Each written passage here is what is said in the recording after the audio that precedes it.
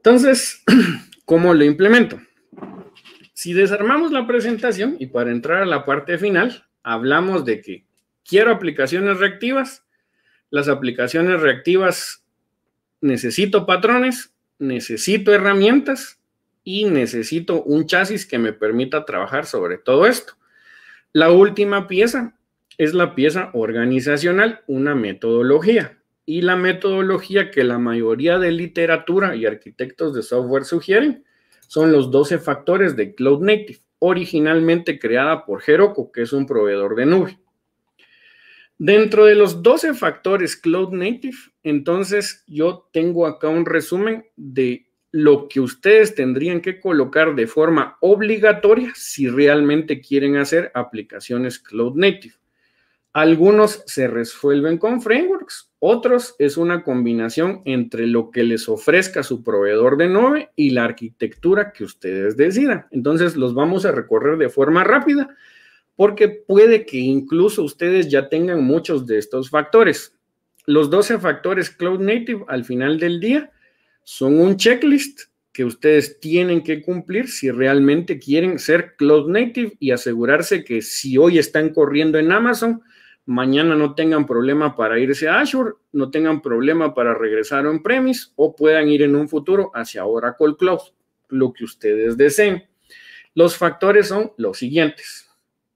Primero que todo, yo los estoy colocando en el orden que yo creo que hay que resolverlos. ¿Por qué? Porque así los he ido resolviendo yo y es la que me ha funcionado, pero puedo tener opiniones contrarias. Antes de ponerme a hacer todo esto, ponerme a descargar frameworks y demás, me debo de asegurar que mi proceso de desarrollo de software esté bien. Y esto suele ser lo que generalmente no está bien en las organizaciones. Entonces, el primer factor que es gestión de bases de código es que deben de tener una base de código que soporte múltiples entornos de despliegue, que su aplicación esté pensada para correr en local, en servidores de certificación, on-premise o en la nube. Y como cada aplicación es independiente, lo que se sugiere es tener un repositorio independiente por cada aplicación o por cada microservicio. Ahora, hay gente que argumenta que es mejor tener repositorios únicos o repositorios de código monolíticos. Yo personalmente prefiero que cada microservicio o cada parte de mi sistema tenga su propio ciclo de vida, tenga sus propias políticas de gestión de código entonces, esto se los da DevOps, que lo, lo cual vamos a hablar más adelante. Resolvieron la gestión de código como Mario Bros al siguiente nivel, la gestión de dependencias.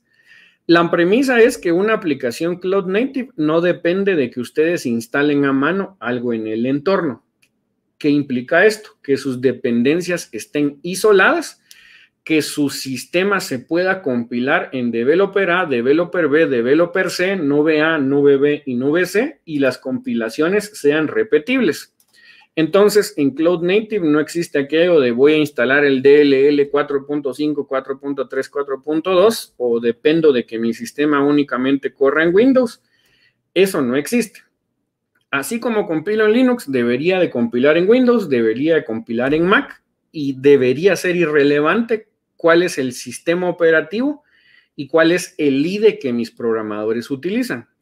Si me pongo de ejemplo, que es la experiencia que yo he tenido, en la empresa donde trabajo, que es Navenic, yo utilizo IntelliJ, hay otro desarrollador que le gusta NetBeans, otro que le gusta Eclipse y otro que por alguna razón le gusta VS Code. Es irrelevante, yo debo de poder compilar en cualquier lugar, en cualquier IDE, en cualquier entorno que me esté ejecutando. Resolví esto, Vámonos al siguiente nivel, la externalización de la configuración. Cuando yo quiero cambiar un aspecto en la aplicación, si ese aspecto es diferente entre nubes, eso significa que es una configuración que debe de ser inyectada. Ejemplo, una URL hacia una base de datos, un parámetro de configuración de en qué país está corriendo la aplicación. La configuración de una aplicación debe de ser dinámica sin que eso implique recompilación o reempaque de mi aplicación. En otras palabras, las configuraciones deben de ser inyectables. Por último, ya resolví todo esto. Aquí les tengo donde la mayoría se queda, los backing services. Como nosotros ya no estamos corriendo en un monolito, que la mayoría de las veces implica ser casi un mainframe, el acoplamiento entre servicios debe de ser débil. Entonces, siempre debo de tratar los backing services como componentes intercambiables o adjuntos, y aquí se da mucho la analogía del ganado versus la mascota. La mayoría de sistemas en los 90 y 2000 eran sistemas mascotas, que yo cuidaba desde chiquitos, los iba alimentando hasta que lleguen a ser grandes. Un sistema Cloud Native es un sistema compuesto de ganado.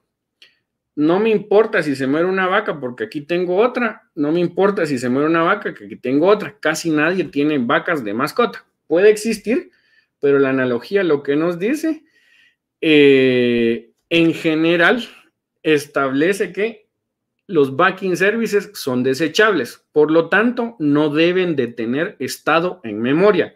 Una forma rápida de evitarse muchos problemas al momento de programar Cloud Native es trabajar siempre sin estado, no depender de sesiones dentro de los sistemas, sino que los sistemas deben de ser portables las sesiones a través de tokens que se pasan entre las peticiones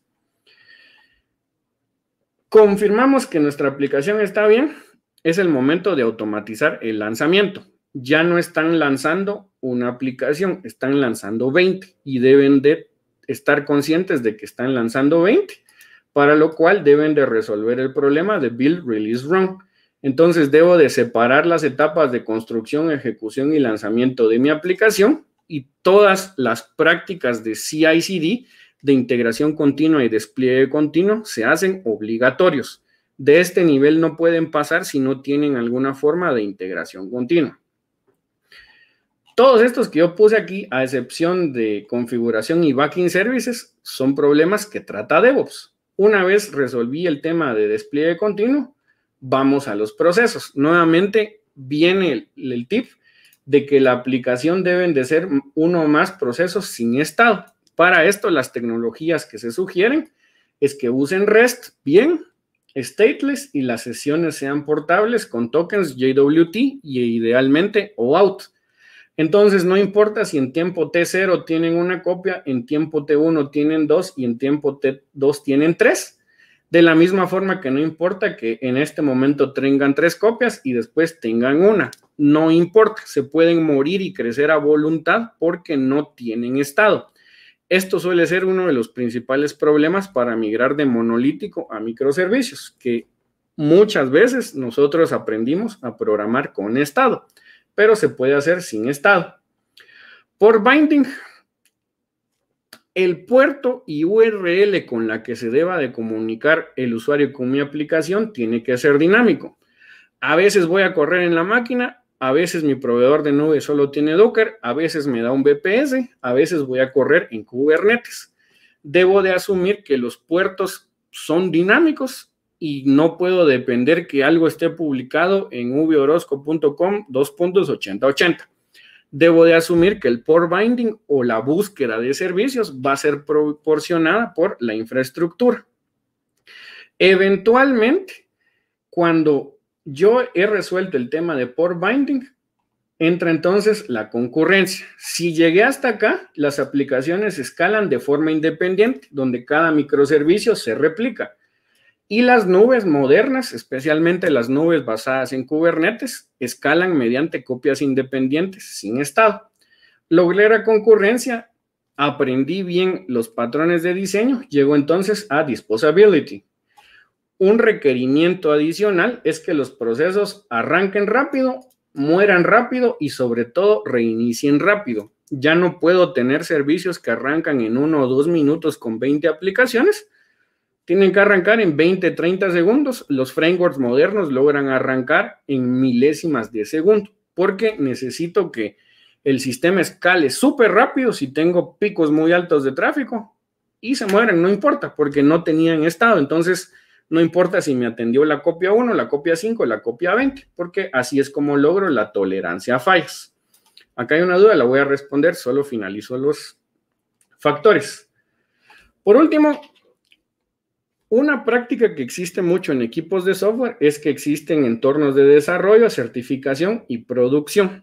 Debe de haber cierta paridad. Si mi entorno de certificación es en Kubernetes, mi entorno en producción tiene que ser en Kubernetes. Si en certificación uso la versión 4.1 de un driver, en producción debe de ir la 4.1 de un driver. Este factor generalmente se implementa mediante la utilización de contenedores. Si utilizo correctamente el contenedor, garantizo que mi entorno de certificación, mi entorno de producción y mi entorno de desarrollo tienen todas las mismas versiones. Últimos factores, de alguna forma ya no tengo un sistema, sino tengo 20, tengo 30. Tengo que centralizar esos logs como streams de eventos para que tengan el análisis posterior. En lugar de tener un archivo server.log, mi chasis me debe de ofrecer formas de que un centralizador de logs como Logstash y Kibana lleguen al servicio, le saquen los logs y queden centralizados para su análisis posterior. Entonces, los analizadores de logs se vuelven obligatorios. Último factor, todo esto es ahora una fiesta de mis subsistemas. Entonces, de alguna forma, tengo que manipular en copias de los servicios, el análisis posterior, este está repetido, pero admin process es básicamente que todo esto se debe de hacer sin intervención humana. No hay humano que pueda hacer esto sin fallar. Quien les diga que soy un sysadmin de microservicios es mentira. El sysadmin moderno es un sysadmin DevOps que sabe automatizar las herramientas para que todo esto ocurra de forma automática. Todas aquellas personas que hace 10, 20 años estaban estudiando cómo utilizar Linux, cómo desplegar servidores Apache, Hoy probablemente ya transicionaron a certificarse en nube, certificarse en Kubernetes, certificarse en cloud. Hoy el administrador de sistemas no es el que apaga fuegos, sino el que planifica el orquestador, los recolectores de logs, los recolectores de métricas, dashboard y demás para que ahora sí podamos lograr la aplicación reactiva.